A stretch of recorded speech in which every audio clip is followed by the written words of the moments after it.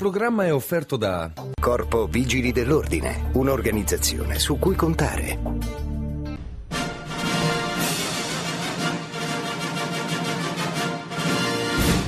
Televisore, perle di sudore, siamo qui. E ti sembra strano stringersi la mano, forse no.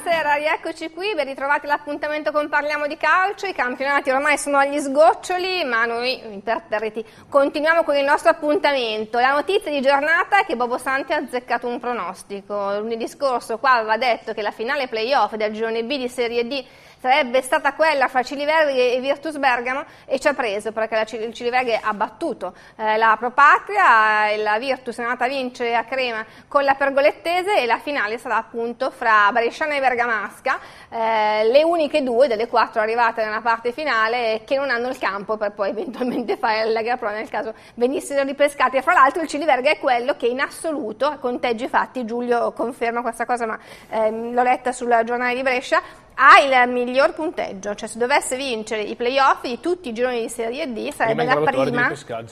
Perché è arrivata seconda, chiaramente, con i punti maggiori di tutte le altre seconde. Quindi vincesse i playoff sarebbe prima in graduatoria di ripescaggio. C'è il problema chiaramente strutturale perché chiaramente Ciliverghe non ha lo stadio per la, per la Lega Pro. Assolutamente sì, e questo sarà un problema che a cascata finirà anche sugli altri gironi. Non so come si è messo il Gozzano, l'unico è il Varese nel girone A che potrebbe avere eh, questa eh, possibilità. Eh, girone A e partiamo con gli ospiti proprio da lì. Achille Mazzolini, il mister dell'Inveruno, possiamo dire molto più deluso dell'anno scorso? Sì, molto più deluso di sicuro. Perché l'anno scorso era un scorso- po' una sorpresa, quest'anno con la base che avevamo tenuto e siamo stati anche per solo una domenica primi e non era assolutamente facile. Questo play ho sfumato all'ultima giornata Sì, con dire- la classifica avulsa, sì, differenza sì, reti e sì, quant'altro. un po' di casino anche nel conteggio, ma alla fine vuol dire che se non li abbiamo fatti e non li abbiamo centrati non meritavamo di farli neanche quest'anno. Girone B di Serie D, eh, nuova, eh, nuovo assetto societario per il Seregno, lo avevano già, lo avevate già eh, preannunciato qualche mese fa, e settimana scorsa c'è stata l'ufficializzazione, Matteo Fraschini veste di amministratore delegato, giusto? Esattamente, buonasera. Buonasera e poi faremo vedere anche l'intervista raccolta dalla sottoscritta in conferenza stampa, così vi daremo ai nostri tifosi di segno che sono sempre eh, ben presenti un po' di eh, notizie che già comunque avrete appreso dagli organi di stampa. Giulio Mariani, capitano della Castellana, prima volta qui ospite con noi, collega, perché è giusto, Esatto, eh, scrivi, perfetto. Eh, Castellana che è andata in salvezza tranquilla quest'anno, però forse anche qua ci si aspettava, visto poi l'annata scorsa, qualcosa di più. Sì, esatto, un po' come l'Inveruno, ecco, anche noi l'anno scorso eravamo una sorpresa perché siamo arrivati ai playoff, magari pochi se l'aspettavano, quest'anno gli addetti ai lavori ci mettevano un po' più su, invece abbiamo un po' deluso le aspettative, però insomma puntiamo sull'anno prossimo dai. Claudio Ciao, puntuale, quasi puntuale, diciamo così, mettiamola così. Quasi puntuale, sì, anzi, eh, mi stavate facendo il, il tranello, volevate partire con un attimo di anticipo, invece io ero fuori dalla porta. No, vabbè. Ringrazio sempre per l'ospitalità, è un piacere essere nei tuoi studi e poter essere sugli schermi di Videostar. Hai sentito il patrono Fogliazza? Dopo la delusione No, di ieri? sono sincero, no. Eh, la delusione è stata tanta perché io mi ero permesso di fare una telefonata nel pomeriggio, ma per sentire degli amici che si erano organizzati per eh, sostenere la pergolettese, sono i ragazzi della Curva Sud, e credevo davvero che mh, tutto potesse volgere a loro favore, anche quello che in settimana era successo un po' eh, in società, la Virtus, eh, parlo della situazione della questione eh, Marco Mancin che lascia il consiglio d'amministrazione e così via. Cioè, eh, credevo davvero che la Pergolettese avesse um, tutto dalla sua parte, cosa che invece non è accaduta e, e oggi insomma sì, si ringrazia la squadra per eh, il campionato fatto, ma credo che davvero l'amaro in bocca sia tantissimo e sia un boccone anche un po' amaro da digerire. Giulio, Niente calcio dilettantistico per te nel fine settimana, eri impegnato in ben altro, però naturalmente hai visto eh, i risultati. Villa Valle fuori dalla fase nazionale dei playoff di eccellenza, ci entra la calcio romanese che eh, aveva sfiorato eh, la, la, promozione con il discorso della Coppa Italia e poi è stata eliminata in semifinale, ci riprova, quindi una stagione veramente intensa per uh, mister Mignani, Bulla e compagni. Sì, visto che il Girone C quest'anno non ci ha regalato gioie come, come Bergamaschi in termini di promozione, c'è la Romanese però che si è fatta valere in Coppa e sta tentando alla grande adesso col discorso dei, dei playoff. D'altra parte, esatto, però si sapeva comunque era un big match tra due squadre, anche la Casatese Rogoredo che ha voglia di salire in Serie D, una squadra comunque forte e quindi era molto equilibrato anche quel, quell'aspetto. Il Vobarno mi ha detto che si è presentato un si aspettavano forse una squadra ancora un po' più, più carica okay, come entusiasmo, invece un po'... ha preso il gol quasi subito, eh. se leggi le cronache ha preso il gol dopo neanche un minuto, quindi quello ha segnato in effetti anche la, l'indirizzo della gara. Allora, Abbiamo già anticipato un po' di quello che è successo e andiamo a vedere con la grafica uh, il riassunto. Partiamo dal girone B di Serie D dove si giocavano le due gare di playoff che sono secche, mentre per il playout bisogna aspettare domenica. Il Ciliverga ha vinto 2-1 con la Propatria, la Virtus è andata a vincere 2-1 sul campo della Pergolettese, quindi domenica 21 maggio sul campo del Ciliverga la finalissima del girone sarà Ciliverga e Virtus Bergamo. Il playout, anche qua rimandato a domenica, anche qui secco, Scanzo Rochatellevi col Ginatese Lecco si giocheranno. Qual è il nome dello scanso? Scansorosicate. no, no, non voleva essere così, assolutamente, l'ho fatta io la grafica, ma nessuna responsabilità, scrivendo di eh, fretta. Proposito di partenze, invece non vedo nessuno davanti alla nave, davanti al traghetto, sarà partito Bobo, sarà la volta buona, lo diciamo nell'arco della puntata, perché eh, stiamo tenendo con lui i contratti, sta definendo le ultime cose, però vedete, non, non c'è, sarà su quel camion bianco, eh, vi daremo informazioni a seguire. Di fatto probabilmente è festeggiare il pronostico azzeccato di domenica scorsa, dopo che tutti gli dicevano che i suoi pronostici non, eh, non finiscono mai, eh, non vanno mai a buon fine. Andiamo a vedere un po' di immagini, andiamo a Crema, si giocava appunto eh, questa semifinale, primo turno di playoff, eh, sicuramente la Virtus era la bestia nera per Golettese perché comunque eh, a, a, Crema è sempre riuscita a fare risultato comunque non ha mai perso e anche ieri nonostante sia andata sotto di un gol è riuscita poi a ribaltare il risultato. Andiamo a vedere grazie all'ufficio stampa e alla Virtus Bergamo quello che è successo a Crema fra Pergolettese e Virtus. Pubblico delle grandi occasioni al Voltini di Crema per la semifinale playoff del girone B della Serie D per il match che vede di fronte la Pergolettese alla Virtus Bergamo, una Virtus Bergamo che propone dal primo minuto la novità Flaccadori al posto di un Morosini che non ha ancora recuperato dall'infortunio patito contro il Pontiso, al completo invece i giallo-blu orfani del loro mister squalificato. Alla prima occasione, al primo affondo passa la pergolettese, Manzoni scambia con Dimas che di tacco serve ancora il capitano di casa che batte l'incolpevole Cavalieri. Cross di Sec dal fondo al nono, Porcino viene lasciato solo, conclude di testa a rete per il pareggio immediato dei ragazzi di Madonna che provano un minuto dopo, ma sul corner il colpo di testa vincente di De Angeli. C'è un fallo sullo stesso Dimash, sempre protagonista del match. Pondono i padroni di casa. Colpo di testa ravvicinato di Rossi che anticipa Sec, ma Cavalieri fa buona guardia. Ancora i padroni di casa Dimash dalla lunga distanza al 27esimo, palla altra, gran bomba. Ancora Dimas, ancora il suo sinistro, stavolta Cavalieri in due tempi senza problemi. Palla filtrante per lo stesso Dimas che prende il tempo a Meregali, conclude potentemente. Il portiere della Virtus risponde ancora. Sec, azione personale a metà campo, sinistro, palla a lato. È un buon momento della Virtus, il finale di tempo, lancio di Porcino, Amodeo sul filo fuori gioco, pallonetto alto di poco al quarantesimo. Un minuto dopo ci prova Amodeo, si trascina due uomini, conclude e para a terra Leoni. Ed ecco l'episodio che decide la partita. Flaccadori, buono il suo guizzo, calcio di punizione da pochi metri fuori area, si incarica Michele Magrin e la infila sotto il 7 alla destra di Leoni per il gol del 2-1, il vantaggio Virtus alla fine della prima frazione di gioco. Nella ripresa per in casa ci provano, spinti anche dal loro caloroso pubblico, il cross pericoloso in avvio, Cavalieri sulla linea riesce a proteggere il pallone su un cross dalla sinistra di Boschetti. Dimash palla bassa, per poco non interviene il compagno di squadra Rossi.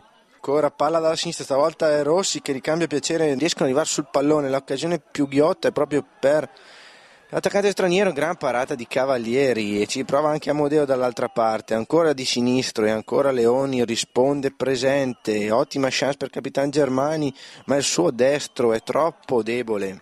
L'ultima vera occasione del match è un gran destro di Pedrabissi da sinistra, ma ancora una volta Cavalieri risponde presente, siamo al 42esimo e sul calcio d'angolo l'ex Ghidini spara di testa alto di poco. Nel finale viene espulso per proteste Leoni, l'estremo portiere di casa, in porta ci va Dimash, ma l'arbitro pochi secondi dopo fischia la fine del match che manda la Virtus Bergamo alla finalissima playoff in quella di Cili Verghe per domenica, quindi 21 maggio. Mentre per i padroni di casa salutati dal loro caloroso pubblico c'è il rammarico per l'eliminazione alla semifinale playoff. Naturalmente Bobo non ce la fa a non essere presente, manda un messaggio dicendo la Pergolettese ha pagato fisicamente e mentalmente la buona stagione, la risicata rosa, Virtus vinto meritatamente e mi ha dimostrato che con un po' più di continuità avrebbe potuto vincere anche il campionato. Matteo, sei d'accordo o il Monza era imbattibile? Il Monza mi è sembrato una spanna sopra tutti è una squadra che ha preso pochissimi gol e comunque anche un parco offensivo veramente importante, da Del Rico allo stesso Palazzo che ha ripetuto eh, l'ottima stagione, l'ottima metà stagione che ha fatto lo scorso anno, anche chi eh, non ha giocato dall'inizio titolare poi eh, si è rivelato comunque un decisivo. decisivo esatto. Insomma, Monza diciamo che era un po' come il Piacenza l'anno scorso, una, un qualcosa di inarrivabile per tutti gli altri. Poi noi abbiamo provato, provato, a fare il nostro campionato, ha fatto un gran campionato il Ciliverghe e lo dimostra anche la finale che andrà a giocare. Virtus Pergolettese, altre squadre che si sono comportate benissimo, ma appunto Monza è è stata un'altra categoria quest'anno, a mio avviso. Achille, Piacenza l'anno scorso, Monza quest'anno, per vincere i campionati bisogna prendere pochi gol e farne il necessario. Non vincerai mai un campionato. No. Mi fai troppi gol. Speriamo di, di sfatare questo tabù di riuscire a farne ancora più di 71, quelle che abbiamo fatto quest'anno, e di vincere. Che sono, secondo me, nel rapporto occasioni create e gol fatti, ancora pochi, perché io quando sì, guardavo le vostre immagini sì, potevano essere ancora più numerosi. Di... Il problema nostro è proprio quello, comunque, in due anni siamo riusciti a, a farci dei gol anche veramente rocamboleschi e de, al limite del ridicolo. Eh, cercherò di migliorare, che sia in Veruno da un'altra parte, perché comunque è un limite che eh, magari un allenatore deve cercare di correggere. Credo che sia anche più un problema di, di che tipo di giocatore abbiamo e sinceramente io ecco, un piccolo difetto che ho trovato, parlando anche poi col presidente e il direttore, era proprio quello di, di avere almeno dei difensori che di solito di indole io da giocatore i compagni erano forse i più cattivi, eh, dovrebbero averlo un po' da parte loro, invece ecco, noi siamo forse fin troppo belli, fin troppo leziosi, sì, fin troppo così, leziosi già da dietro e un po' meno cattivi e meno maliz- maliziati in certe cose.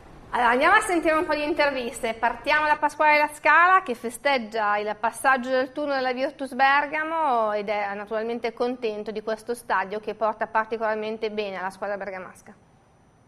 Logicamente soddisfazione per aver passato il turno qua al Voltini.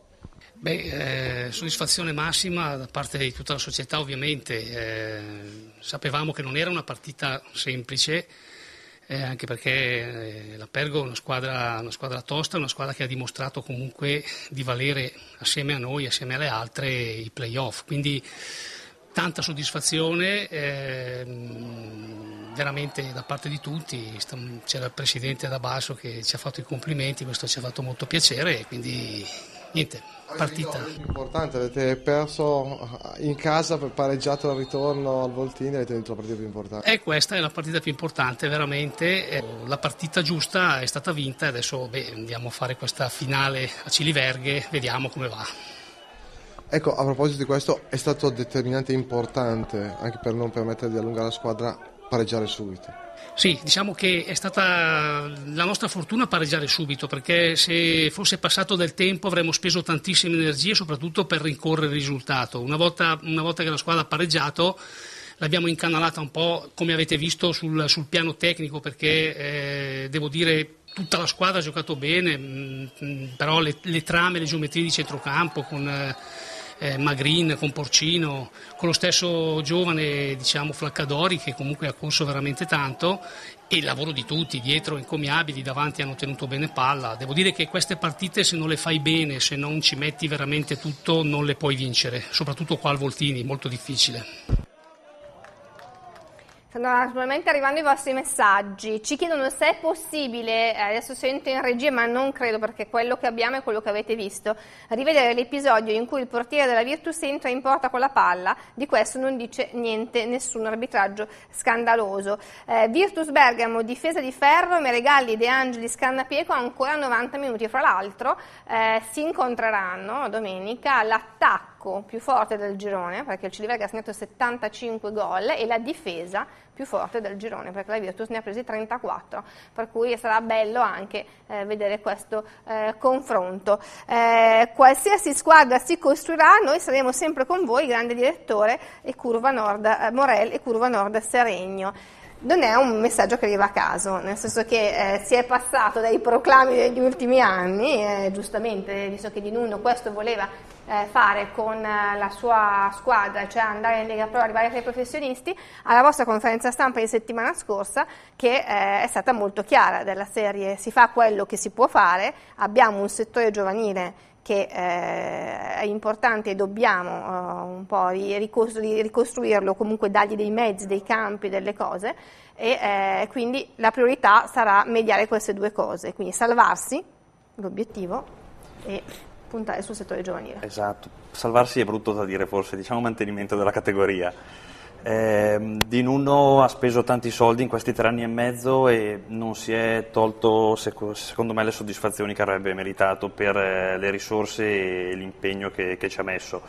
Eh, noi dopo una stagione tribulata con appunto Di Nuno che ha deciso di mollare sostanzialmente dall'oggi al domani ci siamo presi carico di portare la barca in porto e di programmare le prossime stagioni. È un programma a lungo termine eh, fatto di investimenti sulle strutture, sul settore giovanile. La prima squadra logicamente c'è, si allestirà una squadra per il mantenimento della categoria puntando sugli uomini prima ancora dei, dei calciatori, eh, perché sono loro che poi sono delle idee ci daranno tante soddisfazioni a noi come dirigenza e a Seregno come città e come tifoseria. Giulia, a proposito di eh, società, non è il caso del Seregno, ma ne abbiamo viste tante, dalla Varese prima al Monza poi, che saltano in aria, tu arrivi dal Mantova. Io arrivo dal Mantova, sì, eh, ancora sette anni fa è stato è stata delle, dei colpi a livello personale peggiori, anche perché essendo io mantovano, nato a Mantova, cresciuto nel Mantova, è stato un duro colpo il fallimento. Però poi ha avuto la forza di ripartire dalla Serie D, di vincere la Serie D e adesso ancora la situazione diciamo che non si è ristabilita e anche quest'anno si rischia grosso. La speranza e l'augurio che posso fare al Mantova da sette anni a questa parte è che possa ritrovare la serenità societaria e poter eh, ritornare ad ambire a quelle, a quelle categorie diciamo, che spettano a una città e a una storia come quella che è il Mantova, cioè la Serie B. Allora, Ferdinando Passariello era in panchina al posto di Mister Curti che era squalificato, eh, per cui è lui che si è presentato in sala stampa a fare il, la chiusura del, delle considerazioni dell'anno, poi abbiamo naturalmente anche Fogliazza, ma diamo prima la parola alla mister della Juniors della Pergolettese.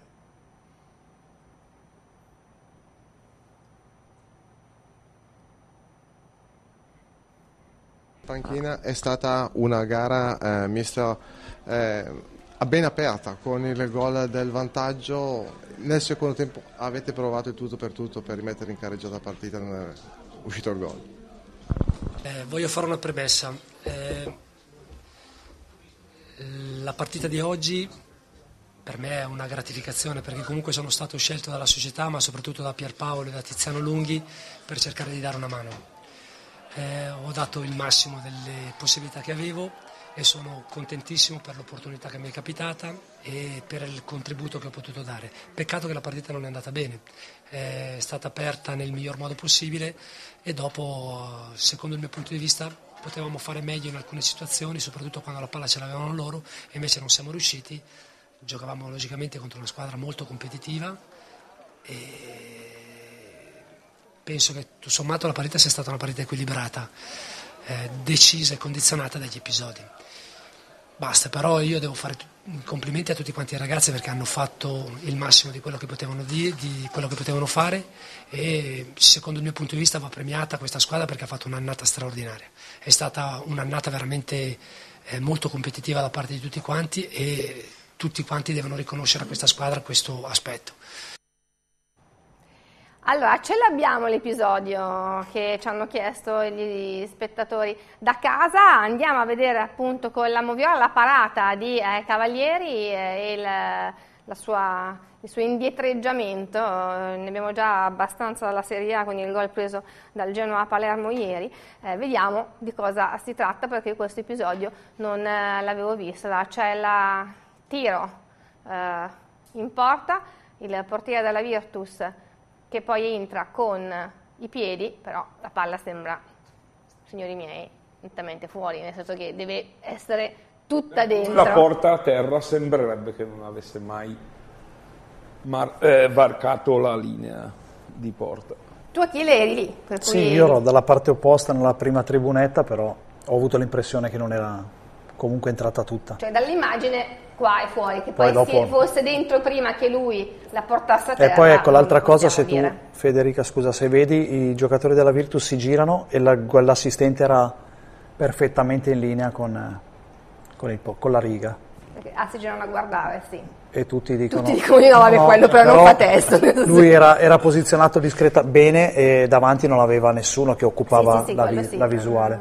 Quindi ci Rimane il dubbio, ma... Eh, mentre tu dicevi, Giulia, stanno arrivando messaggi sì, te lo leggo... in fronte Pergo? Sì, in sostanza, tra virgolette, criticano il fatto che ha preso, allora te lo leggo, allora, con, un, con un allenatore senza esperienza di Serie D, Curti ha preso il primo gol in contropiede. Io in vantaggio di un gol e con due risultati utili, col cavolo che prendeva un gol in contropiede, visto da dietro la porta... Ah, poi dicono, visto da dietro la porta, in questo episodio, dalla, eh, curva sud. dalla curva sud, il pareggio era valido, il portiere ha preso il pallone dentro, poi lo ha portato in avanti non sembrerebbe così dalle immagini, comunque il fatto di avere il vantaggio del risultato, Achille, eh, del doppio risultato, psicologicamente non è, cioè abbiamo visto in Lega Pro l'Arezzo perdere in casa, sì. la San Benettese andare a vincere... Sì, è, cioè, le partite sono un po' tutte da giocare, c'è da tener conto, io ero allo stadio ieri a Crema a vedere la partita, ci saranno stati 26-27 gradi e credo che nell'ultimo mese e mezzo forse non, non si è mai arrivati stati. a una temperatura del genere dopo 34 giornate di campionato, eh, quindi nessuna sosta, via eh, subito la partita di playoff. Credo che le energie mentali, soprattutto e fisiche, vadano un pochino eh, vanno un po' ricercate.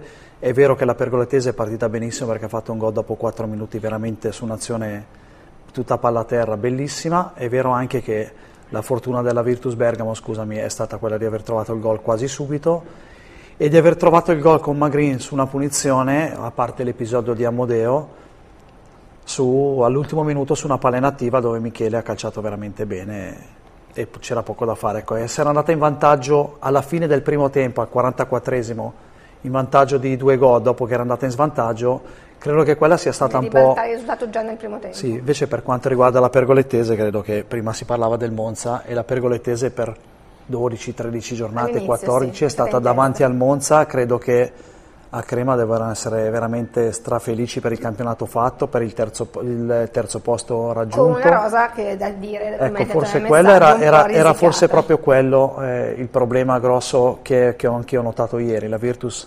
giocatori fisicamente ben dotati, Amodeo, De Angeli, Porcino, quindi Meregalli stesso e forse anche un po' più di soluzioni, già il fatto che non giocavamo Rosini e ha potuto giocare un altro ragazzo, Flaccadori, e l'ha sostituito benissimo, quindi forse un po' più di soluzioni. Allora, andiamo in pubblicità. Prima di andare in pubblicità, però, anticipo un messaggio che sta arrivando via Facebook. C'è anche la diretta via Facebook per eh, Fraschini. Ci chiedono: eh, squadra giovane, non è facile trovare giovani di qualità. Per cui, secondo me, vogliono chiedere dove andrete a prenderli i giovani. Allora, andiamo invece in pubblicità e poi torniamo e vediamo le risposte. Un gol, basta soltanto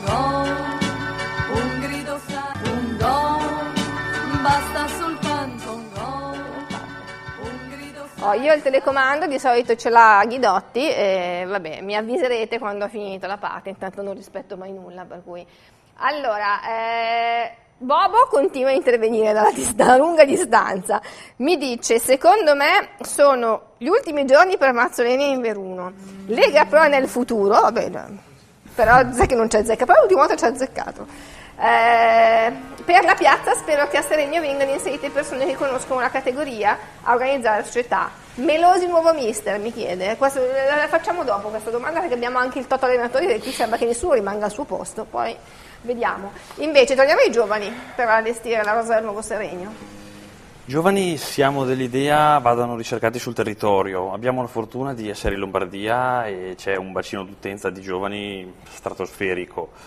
Eh, prendere i giovani da fuori, nulla togliere ai giovani che abbiamo avuto quest'anno, è un'arma a doppio taglio. Magari si prendono dei giocatori che hanno fatto una Berretti o una Primavera e vedono la D come un- una retrocessione di categoria. Eh, lontani da casa, lontani dalla famiglia, a 18 anni non è facile. Quindi Giovani sul territorio ce ne sono, la nostra juniores lo scorso anno ha vinto il campionato nazionale, ha perso ai rigori la finale scudetto e nessun giocatore della nostra juniores è rimasto lo scorso anno ed è una cosa che ci ha fatto riflettere parecchio. Quest'anno la nostra juniores ha fatto bene, mh, non è riuscita a vincere il campionato, tuttavia ha fatto un'altra ottima stagione, abbiamo lanciato in questo mese e mezzo di nostra nuova gestione ben sette giocatori della juniores in prima squadra, qualcuno ha anche fatto gol, ha fatto gol Calmi, ha fatto gol Vaini, e hanno fatto buona impressione anche gli altri, quindi ripartiamo dai nostri di giovani, anche perché un giovane che arriva dal tuo settore giovanile giocare in prima squadra lo vede come un traguardo straordinario e mette quel qualcosa in più che magari manca agli altri. Allora, l'assistente alla metà campo Iero là, ci dicono da Crema, e il gol annullato alla Virtus, ci dicono da Be- da Bergamo, adesso sta diventando una querel fra tifosi. Allora, proseguiamo sempre su questa partita, anche perché eh, abbiamo tante interviste da farvi vedere. Cesare Fogliazza, eh, visibilmente anche emozionato a tratti in questa intervista con Antonio Milanesi, che riassume un po' l'anno e poi dà naturalmente lo sguardo, anche se magari non era il momento più adatto, ma era giusto chiederglielo, alla prossima stagione. Chiudiamo l'anno, penso, eh, vedendo il, bicchiere mezzo pieno o mezzo vuoto, eh, è stato un anno positivo, un anno positivo dove ci siamo tolti dalle belle soddisfazioni, la squadra eh, è stato un gruppo fantastico, di problemi proprio non ce ne sono mai stati e questo è fondamentale per una società, era un gruppo coeso che si sono sempre aiutati. Spiace perché volevamo provarci, arrivare più in là, abbiamo detto anche per dare ai tifosi se lo aspettavano qualcosa, ecco. noi come tutti come dall'inizio dell'anno abbiamo sempre cercato di fare il massimo. Penso noi, la società, il mister, i tifosi hanno fatto la loro parte, li devo ringraziare. Hai parlato di gruppo, di ottimo gruppo, eh, è da questo gruppo che si ripartirà per l'anno prossimo? Sì. Cosa pensi? Cosa succederà quest'estate? Insomma, sei già, hai idea o hai già ragionato? No, come giustamente noi tutti, come tutta la squadra, noi abbiamo parlato in settimana, eravamo tutti, pensavamo solo a queste due partite, questa partita, ecco, una alla volta, volevamo affrontarla e cercare di fare il meglio. Eh, non ci siamo riusciti, c'è un po' di rammarico. Poi adesso faremo questi due o tre giorni in settimana dove troveremo l'occasione per ritrovarci, per salutarci, per, farsi, eh, per fargli anche i complimenti, perché penso che più di complimenti a questa squadra non si può fare. Noi abbiamo, fatto, abbiamo dato a gennaio un giocatore e ci siamo tolti importante, siamo andati avanti sempre per la nostra strada, addirittura in Serie B. Eh, e abbiamo rinunciato a un giocatore importante. Quindi si ripartirà da questo? Sì, io penso che chi vorrà, chi vorrà eh, ancora sudare con questa maglia ci siano tanti presupposti ecco, di, che questi ragazzi possano ancora fermare, però ci vorrà qualche giorno per un pochino per tornare perché la ferita un po' di oggi c'è e rimane per qualche giorno, ma poi tra qualche giorno bisogna pensare a quello che può essere il futuro della pergolettese.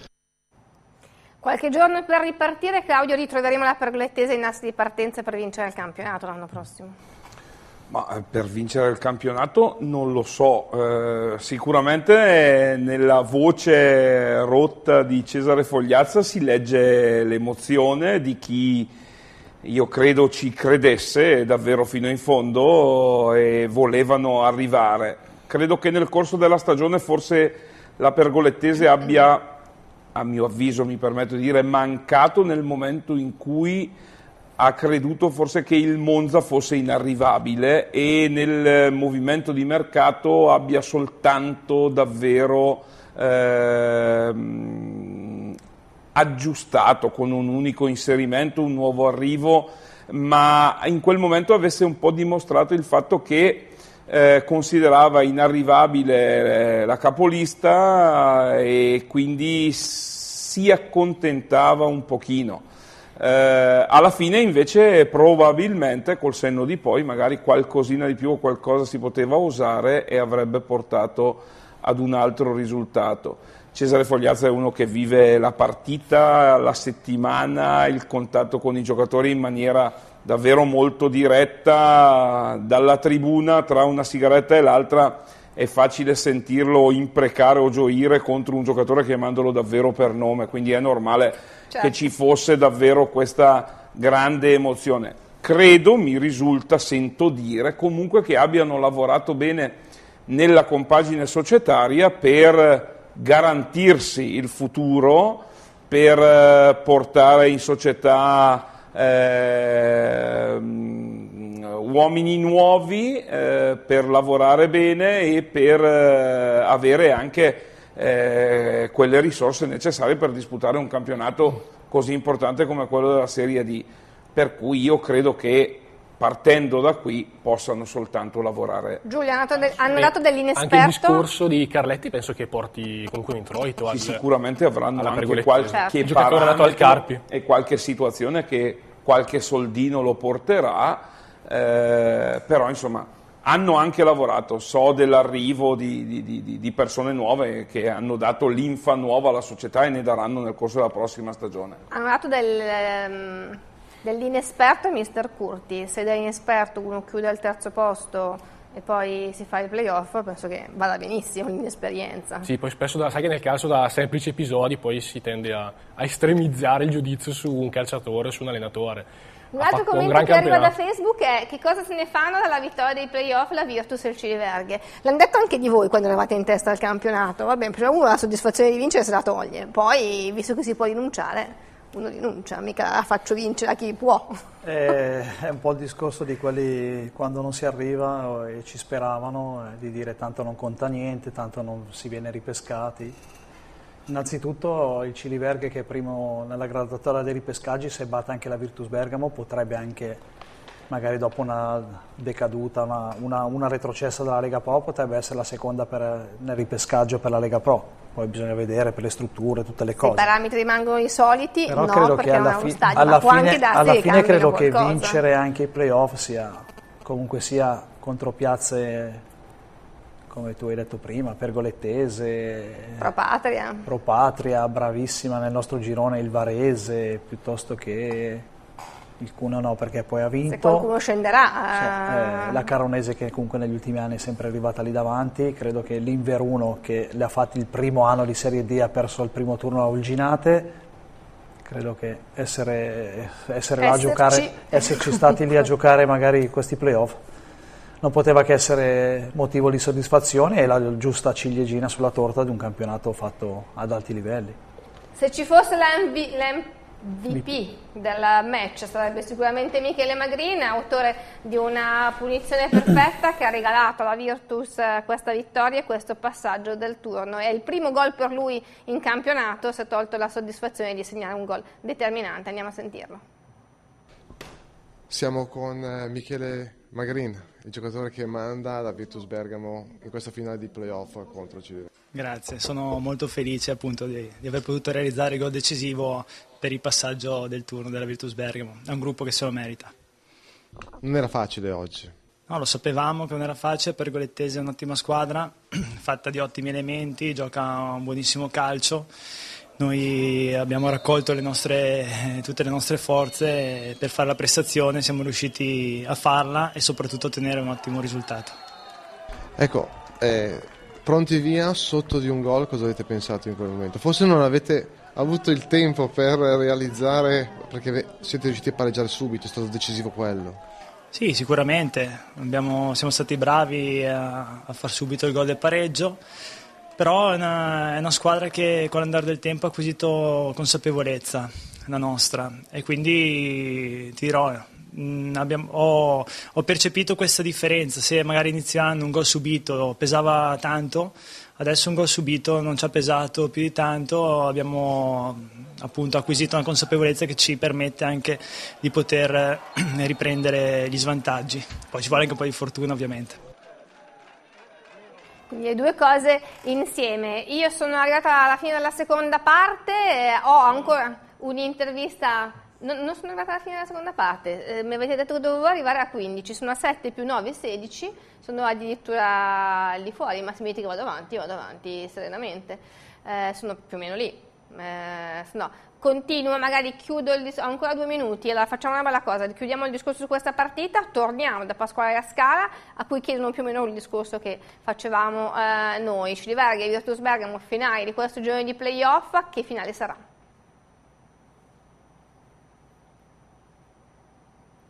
Pasqua. Solo una curiosità, cioè, con che ambizione affrontate la finale playoff? Ma guardi, eh, a questo punto direi che eh, l'ambizione è massima, cioè siamo arrivati alla finale e cercheremo di, di, di portare a casa il massimo dei risultati sicuramente, quindi ci prepareremo bene. Eh, cercheremo di recuperare, come avete visto, Morosini che è entrato negli ultimi dieci minuti, il ragazzo è, è tre settimane che si allena diciamo, alternato, in modo alternato, quindi non era in grande condizione. Però ripeto, mm, la squadra è composta da, da, diciamo, da, dall'intero organico che si dà da fare, che vuole sempre mettere in difficoltà l'allenatore durante la settimana, però è chiaro, cercheremo di andare e di trarre il massimo sicuramente. Diciamo che eh, ormai è una finale, quindi vorremmo vincerla sicuramente. Quindi Morosini potrebbe essere fra gli assenti, potrebbe esserci fra gli assenti anche Bertazzoli, che è il compagno ideale di Galuppini nell'attacco del Ciliverghe. Sarebbe sempre eh, bello riuscire a vedere gli organici al completo, vedremo cosa succederà domenica. Noi andiamo in pubblicità e poi torniamo a vedere quello che è successo nel girone A.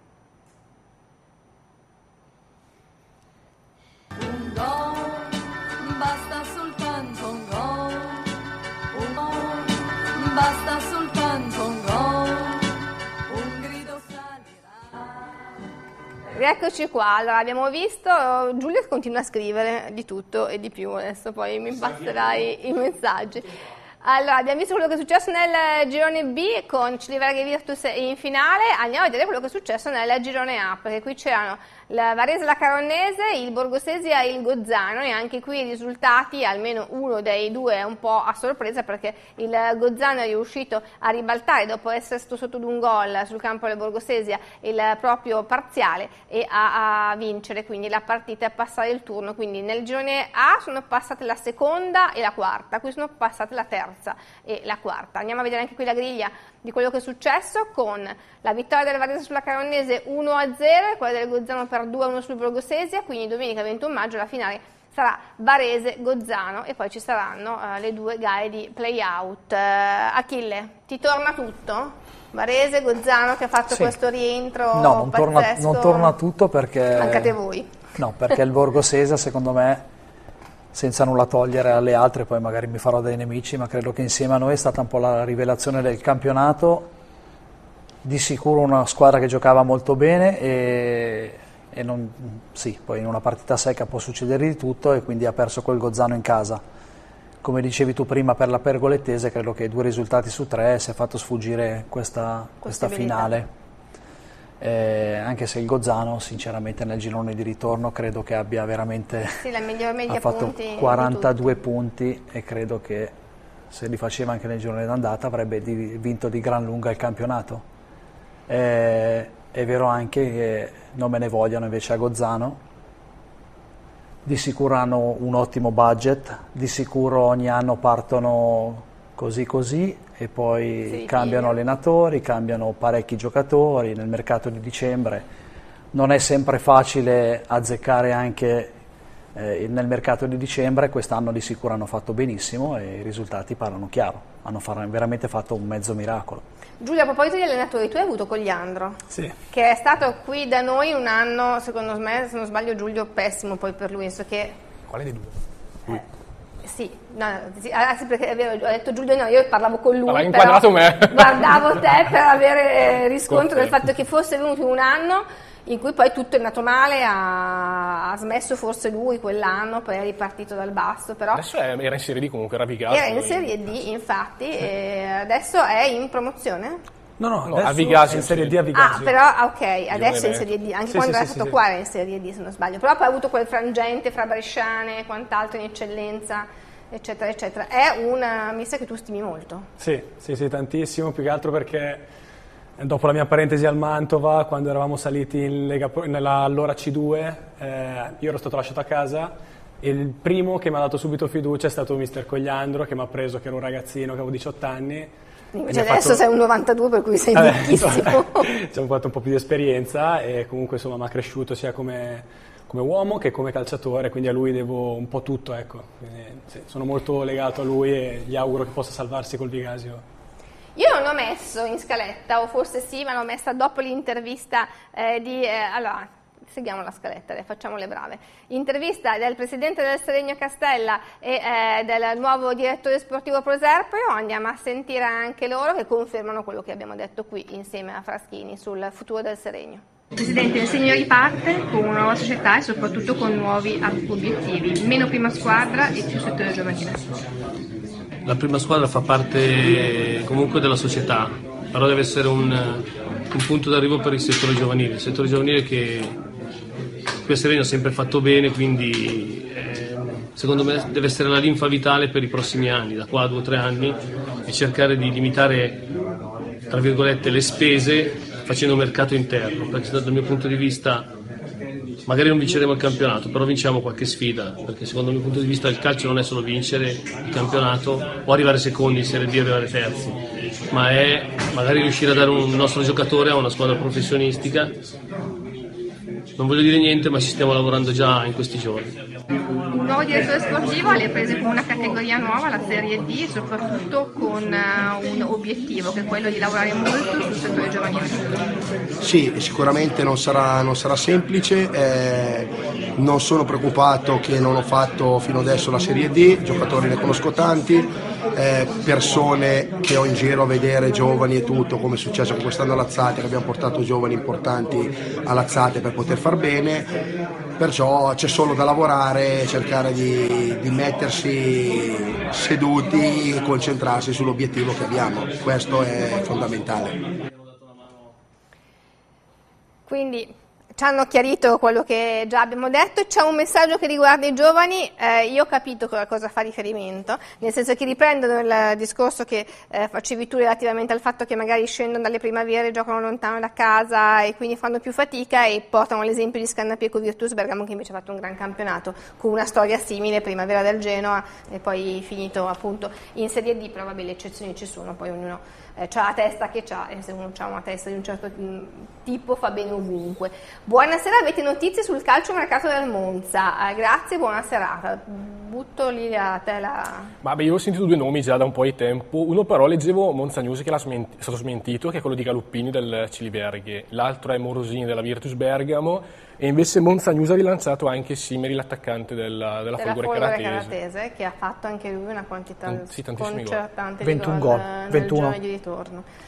Allora, con questa dirigenza la Trevigliese non ha futuro, la ragionier Gigi doveva raggiungerci, però la Trevigliese si è salvata e a questo riguardo ci dicono il regolamento playout non è giusto, ieri abbiamo segnato a Treviglio e sono passati loro, ma il regolamento playout questo dice che eh, se eh, uno ha due risultati utili eh, con eh, pareggio e pareggio si salva chi era piazzato meglio, che in questo caso era appunto la eh, Trevigliese. Allora, eh, Apriamo questo discorso sull'eccellenza, così andiamo a vedere, anzi no, mirate la grafica delle, delle panchine, eh, perché non è cambiato moltissimo rispetto a quello che abbiamo detto lunedì scorso.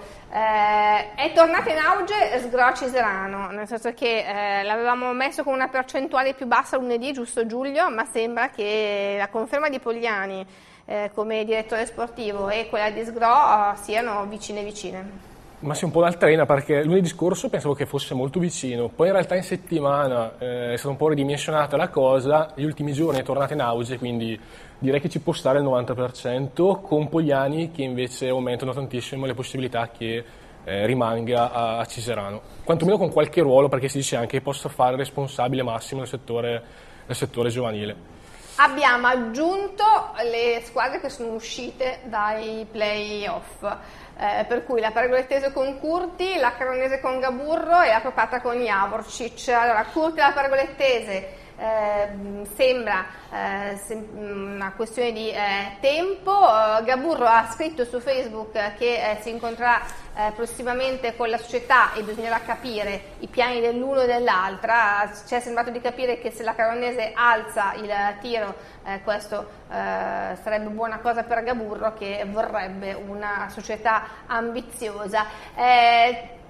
Javorcic sembrava una scelta fatta per il futuro, quanto Claudio comunque un finale di campionato, mh, si sa, lì pretendono sempre molto, non così eh, brillante può influire sulla sua riconferma. Oppure sul fatto che lui resti, perché comunque già il fatto Io che ci sia leggevo, arrivato. la leggevo assolutamente per quel poco che sent- avevo sentito come una scelta che eh, avrebbe eh, comunque portato la società anche per la prossima stagione. Eh, quindi da questo punto di vista eh, è entrato già diciamo così, nel meccanismo, sta già, già avuto modo di conoscere e direi è più eh, pronto a più padronanza di tutta la situazione nel momento in cui è terminata questa avventura dei playoff e adesso bisogna programmare. Quindi colpi di testa ci possono essere fino all'ultimissimo giorno, però insomma non credo che sia stata fatta una scelta per, eh, solo ed esclusivamente per sostituire l'allenatore e non dare continuità. Lo dicevi prima, lo dicevamo la scorsa settimana, la piazza è sicuramente una piazza eh, esigente, eh, ma, ma probabilmente facevamo l'esempio un po' eh, come possiamo dire, del Monza, necessità di avere una stagione in cui ritrovi, eh, riorganizzi un pochettino tutto per poi eh, giocartela davvero nella stagione successiva. Non dobbiamo neanche dimenticare che per la proprietà, la nuova proprietà della Propatria sarà stato sicuramente un investimento gestire la stagione, ma un investimento anche rientrare di alcune situazioni eh, pregresse eh, lasciate dalla precedente gestione, per cui ci può stare, eh, secondo me hanno fatto una scelta che eh, deve vedere e vorrà vedere protagonista nella prossima stagione di Serie D appunto la Propatria. Erano basse le possibilità che Alessio Del Piano si fermasse a sesto, si sono praticamente azzerate queste, eh, questa settimana, ma eh, quello di Alessio Del Piano è uno dei pochi nomi che ha fatto il tuo presidente Matteo in conferenza stampa quando gli hanno chiesto rimarrà Alessandro Letti, gli ho detto dobbiamo parlare, dobbiamo vedere un po' di cose, dovrò anche togliermi qualche sassolino dalle scarpe, non penso riferito a lui, ma riferito no. al fatto di dire alcune cose che difendessero eh, il mister in questa uh, stagione, eh, però non nascondo che ho un buon rapporto nato a Monza con Alessio Del Piano, l'ho sentito, non resterà sesto e quindi potrebbe essere un'opzione, una delle tante? Potrebbe essere una delle, delle tante opzioni. In quest'ultimo mese e mezzo siamo passati dall'essere al fianco eh, di Matteo in, in, trincea a essere sopra e valutare il, il suo operato, il suo rapportarsi con la società insieme al direttore del piano, uno dei nomi che è stati fatti, non lo nascondo neanche io, oramai il press si è sbilanciato, abbiamo fatto due chiacchiere anche con lui, fronte dell'ottimo rapporto eh, che è nato l'anno scorso ed è continuato in questa stagione, ci siamo visti e sentiti più volte eh, nel corso dell'annata. Vedremo, insomma, stiamo valutando insieme al direttore quale scelta verrà fatta per l'anno prossimo e mi auguro anche a questo punto per il futuro, dato che è un progetto a lungo termine non eh, destinato a fermarsi a fine della prossima stagione. Il tuo nome, Achille, ma te l'abbiamo detto noi stasera e sei finto, hai finto benissimo, è stato avvicinato invece da Prosesto insieme a quello di Manzo e di Dionisi. Per, sostitu- per sostituire Alessio Del Piano, Piano, sì. sarebbe già un grandissimo onore. Non sto nascondendo niente, non so assolutamente niente. Ho qualcosa anch'io, ma credo che sia un po' presto parlarne, visto che prima sarebbe giusto Sono trovarsi con, con dei direttori e società con la quale devo ancora devo parlare. Tra l'altro hanno accomunato Dionisi alla panchina della Prosesto, è arrivato il messaggio di Bobo, lo avevamo detto anche lunedì scorso, eh, non avevamo voluto rompere le scatole, è un allenatore ancora impegnato nei playoff, ma il fatto che il suo direttore sportivo vada a Fiorenzuola può far pensare che lui lo segua a breve, ahimè, per Andrea Ciceri che comunque Fiorenzuola ha fatto un buon lavoro e ha salvato eh, la eh, squadra, quindi questa è un'altra eh, Tra possibilità. cosa carina, il discorso Serenio e Androletti e possibile del piano come arrivo è che lo scorso anno a Monza invece c'era l'ipotesi che qualora eh, si fosse rotto il rapporto con Del Piano un possibile sostituto era proprio Androletti, quindi si, si intrecciano ancora un po' i destini tra, tra queste due figure. ancora, ancora una volta, se me Beh, lo ma ricordo. credo che se prendiamo le categorie che a noi non competono, eh, sentire parlare di Conte all'Inter da due mesi quando si stava giocando una Premier League e, e tante altre robe, credo che nei dilettanti se ne sentiranno Sì, da, qua, da qua a fine giugno, a metà luglio, di tutti i colori. Di tutti i colori, poi bisognerà vedere cosa succederà. quale è vero, quale no, quale- Effettivamente chi Ne sentiremo delle belle. chi eh, rimarrà, sì sì. Alessandro Palomini ci scrive eh, Mazzoleni delle richieste dalla Lega Pro nel Veneto, però eh, non, è dotato, non è dotato di patentino. Sì, mi hanno, non mi hanno bocciato. eh. Questo, no, no, non l'hai ancora Non ho fatto, mai fatto non domanda, eh. proseguito, ok. Non ho mai fatto domanda e quella invece... Ci scrivono anche attenzione del piano a Ciserano.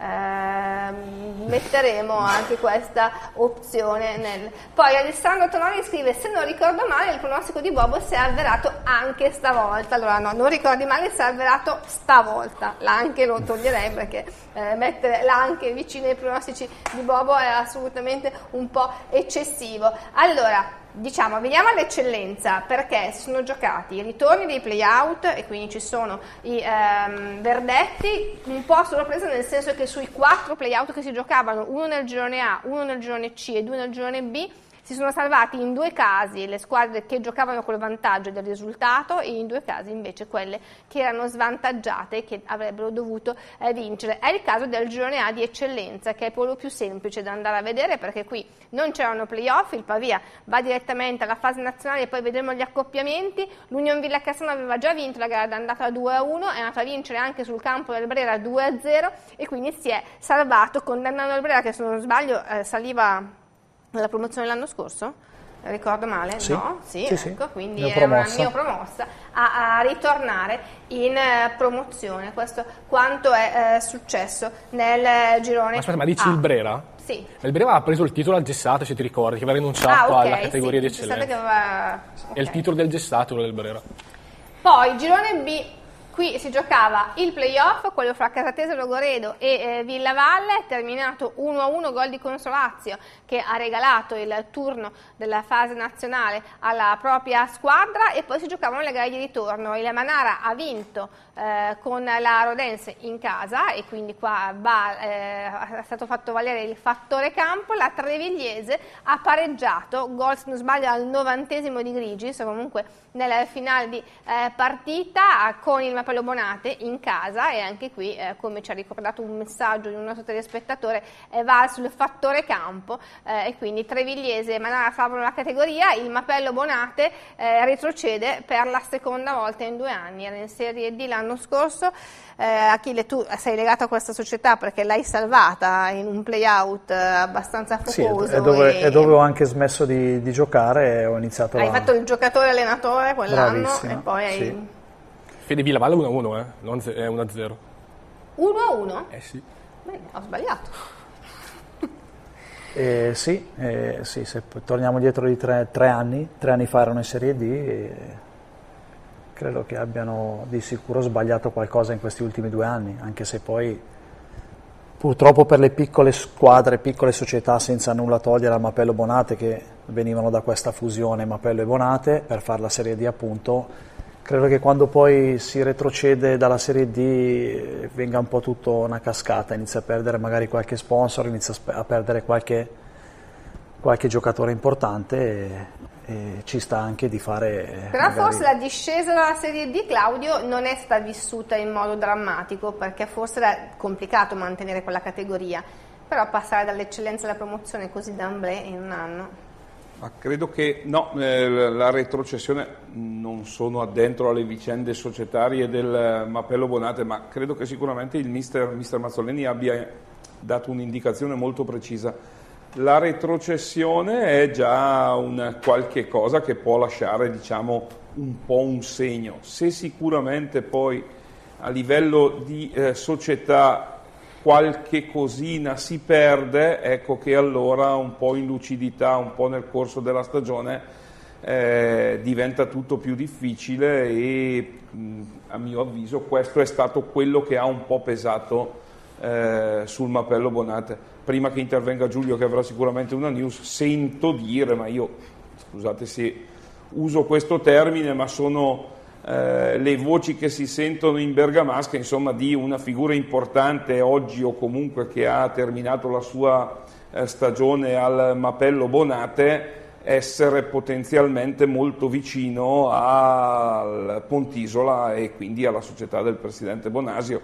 E parliamo di una figura che eh, è uno sponsor importante per il Mapello Bonate. Quindi anche queste situazioni, queste possibili tensioni in seno alla società non, non hanno sicuramente aiutato il Mapello Bonate a conquistare la salvezza. Giulio ti Sì, no, avevo due cose da dire. Una è un po' legata a questa e l'altra cosa, l'esperienza simile che ha vissuto il Mappello è quella della Castellana. La Castellana l'ha vissuta Giulio dopo parecchi anni in Serie D, si è trovata in eccellenza, forse a livello economico con meno contraccolpo rispetto al Mappello Bonate, anche se comunque è stato un salto all'indietro dopo tanti anni, pericoloso un po' come era per il Mappello. Sì, noi in realtà abbiamo avuto, abbiamo avuto un attimo esatto il problema opposto perché noi abbiamo fatto bene l'anno scorso Esatto. perché avevamo boh, forse una voglia di riscatto che, che quest'anno invece non c'era perché siamo partiti quest'anno un po' con la puzza sotto al naso e l'anno scorso abbiamo fatto i playoff, forse ci sentivamo fuori categoria, l'abbiamo un po' quello che è pagata. successo a Luciano Manara nel, nel girone B, che ci si aspettava, ci si sì, aspettava e alla esatto, fine si è esatto. salvato ai playoff. E invece playoff. esatto, quindi per questo dico che noi abbiamo avuto un po' il problema opposto perché in realtà l'anno scorso, forti di questa voglia di riscatto, in realtà abbiamo fatto una grande stagione, che quest'anno invece non è, un po' meno. non è stata ripetuta. L'altra cosa, esatto, volevo dirti che il Villa Dalmè, anche lì c'è un po' di movimenti societari, perché alcune figure, tra cui il vicepresidente e Testa, sono usciti, eh, sono nati in una società che era il di seconda categoria, dovrebbe prendere la prima categoria, comunque c'è un progetto da cui sono usciti eh, dal Villa, poi a livello di budget non so dirti, eh, anche perché entreranno persone nuove, quanto cambia in più o meno il discorso Villa Dalmè, però c'è questa novità a livello dirigenziale, quindi alcune persone, il vicepresidente che esce dal, del Villa Dalmè. Allora, io direi che posso anticipare la pubblicità perché abbiamo ancora il girone di GC da vedere, ma visto che è il girone di eh, Giulio e lo facciamo chiacchierare un po' su quello che è successo fra playoff e playout, direi di interromperci adesso e torni- torniamo fra pochissimo. Un gol, basta soltanto un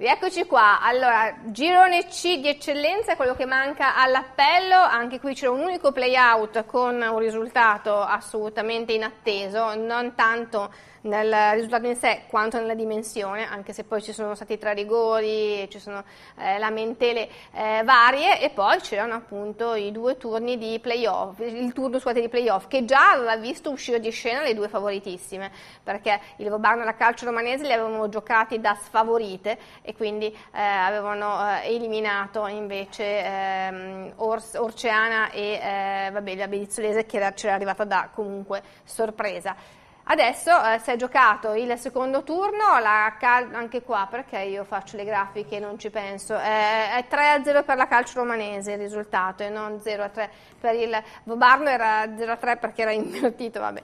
Eh? Quindi la Romanese ha vinto 3-0, ha passato il turno e quindi accede alla fase nazionale. Eh, la, eh, L'Orsa che aveva pareggiato 2-2 con il Montichiari è andata a vincere 4-1 sul campo del Montichiari, dicevamo tre rigori, prima uno per l'Orsa, poi uno per il Montichiari, poi un altro per l'Orsa, tutti nel primo tempo. E, eh, il risultato è stato che l'Orsesio si è eh, salvato e il Montichiari è retrocesso. Giulio, pensi Giulio, eh, Giulio Castellana?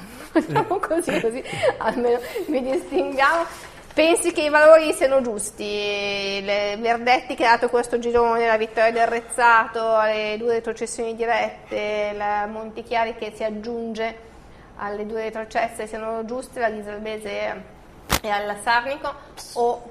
Sì, penso di sì, penso che alla fine i valori siano usciti e che effettivamente il, il Rezzato aveva ammazzato il campionato, lo sapevamo, una corazzata che con l'eccellenza c'entra poco secondo me. E tra l'altro so che stanno ancora anche rinforzando l'organico per fare una buona Serie D.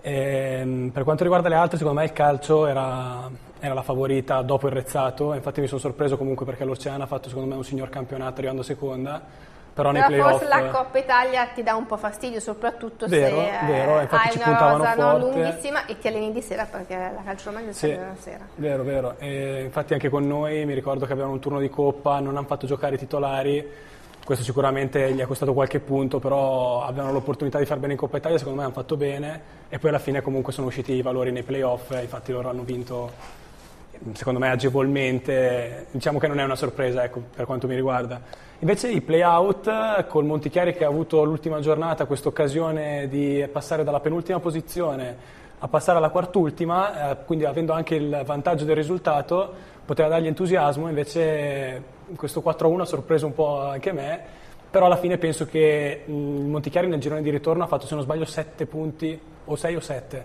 Sì. Quindi diciamo che non erano proprio in condizione ottimale, quindi anche in questo caso penso che il valore sia stato rispettato. C'è qualche squadra da cui ti aspettavi qualcosa di meglio? Non so, il Brusaporto che se ne è uscito dai playoff all'ultima giornata. non me, lo, non me lo spiego perché il Brusaporto per me rimane la squadra che gioca meglio nel nostro girone, ma da due anni a questa parte, da quando siamo scesi in eccellenza, cioè da due anni, non mi spiego come non possano arrivare tra le prime cinque perché sono veramente hanno giocatori di qualità, giocano un bel calcio, hanno chi segna, forse l'unica cosa è che sono un po' sbilanciati e quindi prendono un po' troppi gol, però veramente hanno una qualità incredibile. Noi tutte le volte che ci giochiamo ci facciamo il segno della croce in difesa perché sappiamo che sarà una partita molto molto dura e infatti anche quest'anno è stata così. Poi eh, si vede che hanno qualche, spesso fanno delle, delle serie di partite da 3-4 sconfitte di fila e forse penalizzano troppo. Ecco. Quest'anno infatti Giulio era un partito malissimo, tant'è che giravano voci più o meno veritiere, ma meno che più,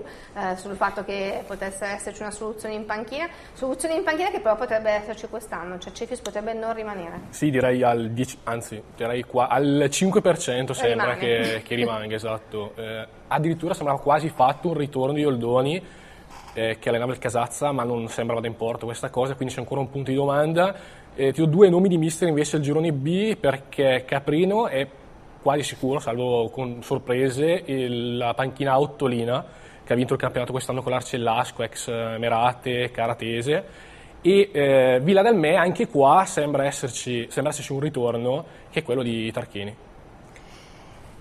Mm, Io ho invece rubato un po' di notizie sprint sport che danno Bertani molto vicino al Nibionno il giorno, danno Tassi in partenza verso mi ci voleva Bobo in questa occasione perché lui lo sente spesso in partenza eh, per l'eccellenza piacentina, romagnola, emiliana quantomeno e eh, quindi lascia la panchina San Colombano. San Colombano un po' rivoluzionato perché ha lasciato anche Scognamiglio che era il direttore abbastanza storico, Tassi eh, lì eh, è di casa, per cui anche qui ci saranno grandi novità, ma adesso se Bobo mi ha sentito mi manderà tutti gli eh, aggiornamenti. Per chiudere il discorso sull'eccellenza, mi date la griglia degli accoppiamenti del nazionale? Così andiamo a vedere quali saranno le prossime avversarie di Pavia, Caratese Logoredo e eh, Calcio eh, Romanese. Eh, le ho divise così perché poi si piglieranno fra di loro, per cui si gioca il 21 e il 28, andata e ritorno.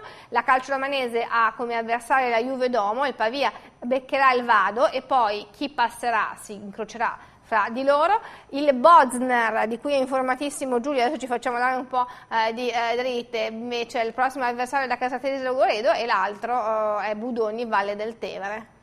Vabbè, sulla carta sembra è l'avversario playoff più a sorpresa, cioè è arrivato secondo, non sanno i playoff in eh, Trentino Alto Adige e a sorpresa già ci sono degli allenatori che sa già dove andare il prossimo anno, va agli allievi nazionali sul Tirol, è una squadra quindi dovrebbe ridimensionarsi sembra, quindi sembra sulla carta un avversario teoricamente facile. Hanno però un giocatore più forti del Trentino che è Bertoldi, un attaccante che ha fatto tipo 33 gol lo scorso anno e altrettanti quest'anno. Eh, il marrazzo del Trentino. È il marrazzo del. Trentino, questo Bertoldi, però è una squadra che già in ottica non sembra voler eh, salire in Serie D. Poi il campo tutto può cadere, però è un po' questa la, la situazione del Bosnia. mi È un quartiere di Bolzano. A proposito mi viene in mente a proposito di attaccanti che Spampati non resta Verdello, ma Sì, potrebbe dovrebbe essere tornare nella sua valle, quindi Valle Seriana, all'Albino Gandino, sembra molto probabile. riferimento a Fabio Spampatti Verdello appunto e non a Spampatti eh, Darfo. Ma Ah, mister, mister, eh, Mignani va quindi allo Juventus Stadium? no. Non è Juventus. È Juventino che tu sappia? No, non credo, non credo, No. no, no, no, no, no. Però Juve Domo vuol dire Domodossola? Eh, credo di sì, Sì, credo di sì, sì, è piemontese. Ma mister Mignani, grandissimo fautore di questo risultato, secondo me, insieme al suo gruppo di ragazzi, perché dicevamo prima, sicuramente ha pesato eh, nell'economia della stagione anche questo eh, impegno in Coppa Italia, dove avevano fatto davvero molto bene e fatto sognare la calcio romanese e i suoi tifosi. Ehm, comunque una rosa abbastanza stringata e misurata, credo che in questo caso vada dato atto a Giacomo Mignani di essere eh, maturato tantissimo e di aver acquisito un'esperienza importante nella gestione di tutto il gruppo, nel modo in cui eh, ha saputo operare e credo che insomma qui ci sia gran parte del merito suo. Mister che non molla niente perché stasera ha fatto allenamento. Io ho avuto modo e piacere di Perché sentirlo. gioca tra- di sabato per cui. E quindi... Anzi no, adesso no, scusa, 21-28 è domenica domenica. Sì, sì, e però stasera Non era sul campo e... L'ha fatto per fatto evitare, allenamento. perché la- gli avevo detto lunedì scorso, vabbè se non ti alleni lunedì prossimo ti invito, mi sa che si è allenato per quello. allora, invece abbiamo parlato di giovani stasera. Ehm, le Iene di giovedì scorso, del 10 di maggio, hanno mandato in onda un servizio che è partito da una- un un articolo apparso su Sprint Sport di Vincenzo Basso che praticamente ha scoperto eh, una truffa, perché di questo stiamo parlando. Praticamente c'erano eh, delle società, Equipe Europa piuttosto che US Trial, eh, che promettevano a, giocatori che facevano un provino la possibilità di essere selezionati, poi di andare a giocare in America nella Serie C americana unendo questa cosa anche allo studio e quant'altro. Vabbè, si è scoperto che non era vero niente, eh, che eh, ci sono società serie che fanno cose di questo genere, eh, ma eh, questo non era il caso. Eh, le Iene hanno indagato perché poi è sempre difficile riuscire a capire chi ci sta dietro a certi giri e loro l'hanno capito, sono arrivati in contemporanea ai carabinieri. Noi vi proponiamo un pezzettino eh, del- dell'indagine delle Iene partita appunto da Vincenzo Basso di Sprint Sport e da quello che lui aveva scritto è arrivata poi ai colpevoli o quantomeno presunti tali perché naturalmente finché non c'è una sentenza ce ne guardiamo bene. Andiamo a vedere. Vabbè, abbiamo capito. Non ci rimane che metterci alla ricerca del fantomatico Mr. X. Navigando sui siti che gli davano spazio, incrociamo i vari articoli e un nome ricorre spesso. È quello di Luca Natale Imbroinisi. Cercando meglio, troviamo anche un video di alcuni anni fa, dove Imbroinisi viene intervistato su un campo di calcio. Stiamo facendo una preparazione precampionato, diciamo da là dobbiamo risalire in Svizzera, quindi Con un software audio mettiamo a confronto la voce dell'intervista con quella della telefonata.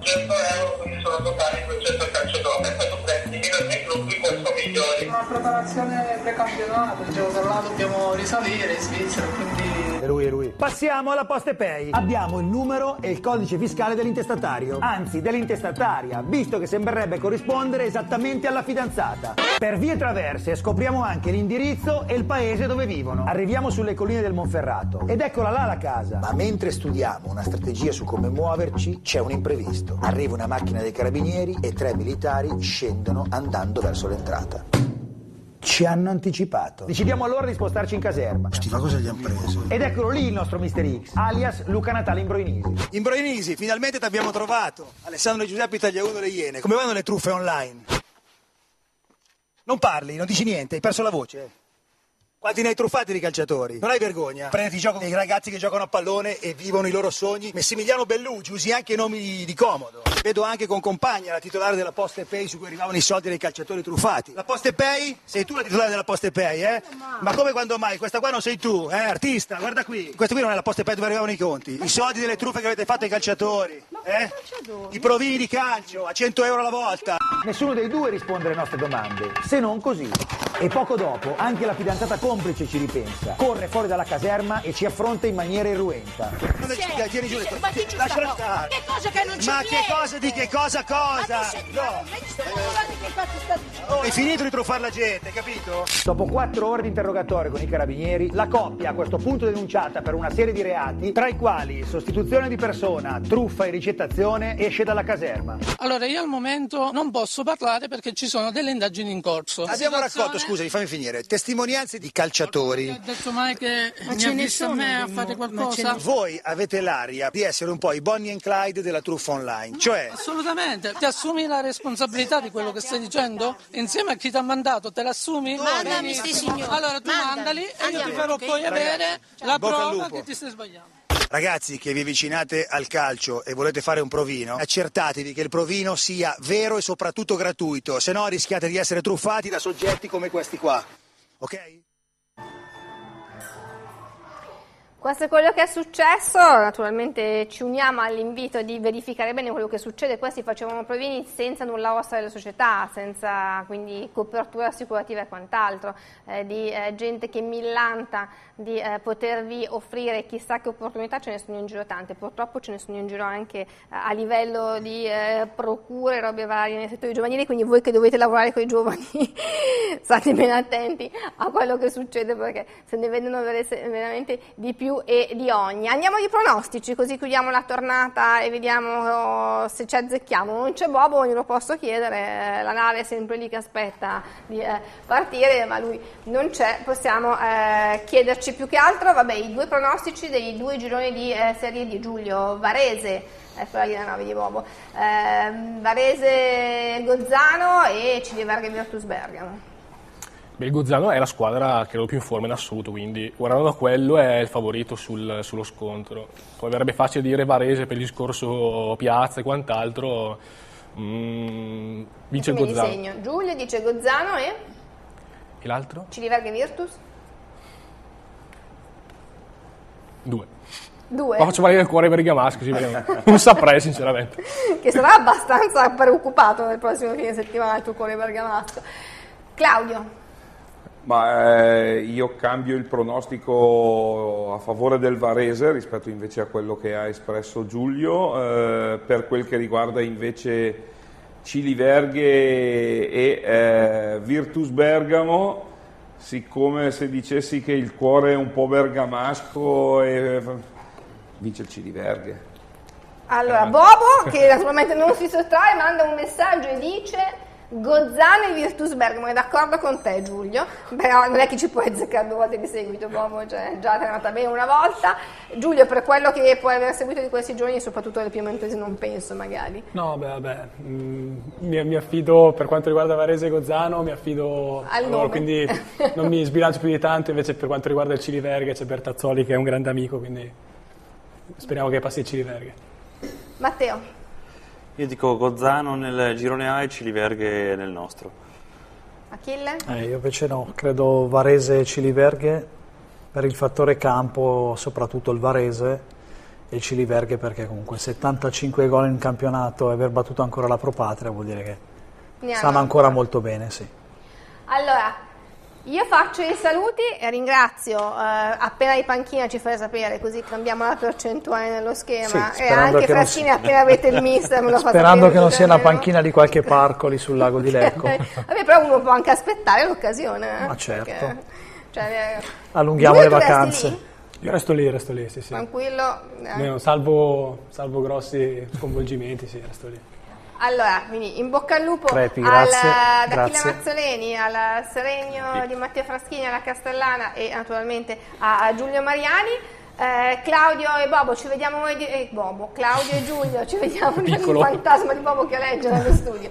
Eh, ci vediamo lunedì Ciao, prossimo buonasera. con eh, gli ultimi verdetti. Mm, no, neanche volendo, perché se eh, dovesse andare avanti qualcuno in eccellenza nei playoff nazionali e, eh, eh, avremo ancora qualcosa da seguire, ma poi vi aggiorneremo, magari dureremo un po' di meno. Ci vediamo So- lunedì 20 so- 30. prima dei saluti, Fede, lasciami aggiungere, avrai sicuramente un contributo a livello di immagini un pochino più scarno nella prossima puntata, mancando qualche partita.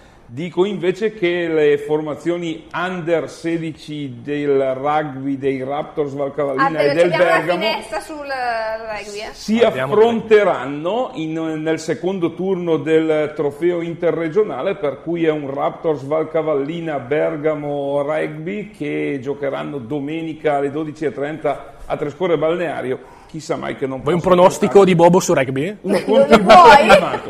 Vorrei il pronostico di nuovo sempre. Ok, eh, ricordiamo l'appuntamento con eh, il calcio a storie, eh, c'era prima eh, della trasmissione, ci sarà anche dopo con Giorgio Burreddu, è un giornalista, è bergamasco, è abbastanza schivo, adesso vive a Bologna e lavora per il Corriere dello Sport, ma ha scritto eh, diversi libri che parlano di calcio, ne chiacchiera insieme a Gianluca Formica in studio, per cui non perdetevi la puntata del calcio a storie adesso oppure su Facebook eh, da mercoledì. Arrivederci e grazie.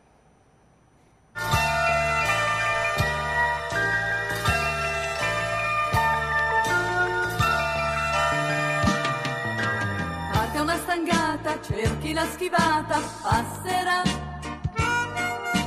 E quel giornalista spara un colpo basso, guarda un po'. E tu, alla ricerca di un santo in più.